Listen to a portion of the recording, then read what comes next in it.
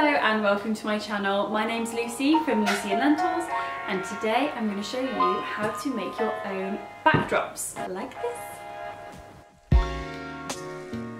Many of you have been asking how I make my backdrops. Um, I get lots of inspiration from fellow foodies and photographers. It's so easy to do. All you need is a piece of plywood the next thing that you need is tester pot paints. I got mine from B&Q, obviously this is not a sponsored video. So the colours that I've got mine in are called Fog, Charcoal and White Petal. The point that I'm making is that there are three different tones and it'll just give you a really nice sort of mottled effect on your boards.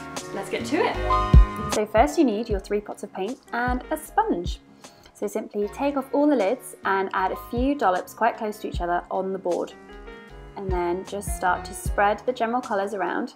I start with the lighter to make sure that the sponge doesn't take up too much of the dark.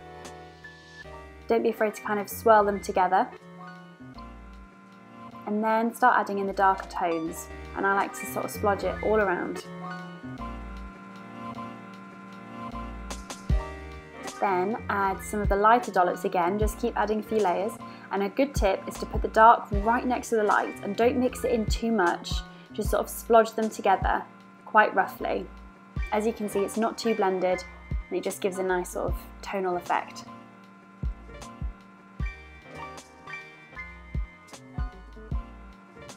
Yep. and here's some of the outcome. And in true Blue Peter style, here's one I made earlier. I don't know if you can see, but I've actually used more pinky tones with this one. I really wanted to create like a warmer background because a lot of the backgrounds I use are quite cold. Take a look. So overall, I'm really happy with the outcome. I'm showing you the pink one whilst the grey one still dries.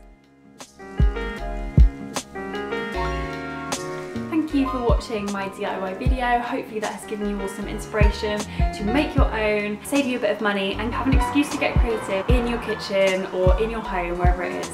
If you'd like any more kind of videos like this, please leave a comment and let me know. I'm more than happy to share all of my DIY tips and tricks and how to save money and create beautiful photography. Thanks for watching, bye!